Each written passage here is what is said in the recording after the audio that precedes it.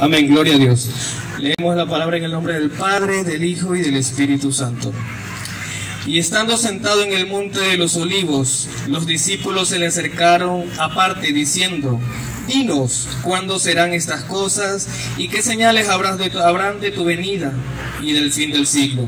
Respondiendo Jesús le dijo, Mirad que nadie os engañe, porque vendrán muchos en mi nombre diciendo, Yo soy el Cristo y a muchos engañarán. Y oiréis de guerras y rumores de guerras. Mirad que no os turbéis porque es necesario que todo esto acontezca, pero aún no es el fin. Porque se levantarán nación contra nación y reino contra reino, y habrán pestes y hambres y terremotos en diferentes lugares. Y todo esto será el principio de dolores. Entonces os, os entregarán a tribulación y os matarán y seréis aborrecidos de todas las gentes por causa de mi nombre. Muchos tropezarán entonces y se entregarán unos a otros y unos a otros se aborrecerán.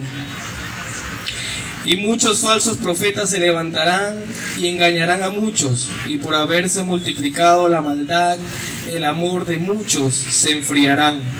Mas el que persevere hasta el fin, este será salvo y, será predicado el Evangelio del reino de todo el mundo para testimonio a todas las naciones y entonces vendrá el fin. Gloria a Dios.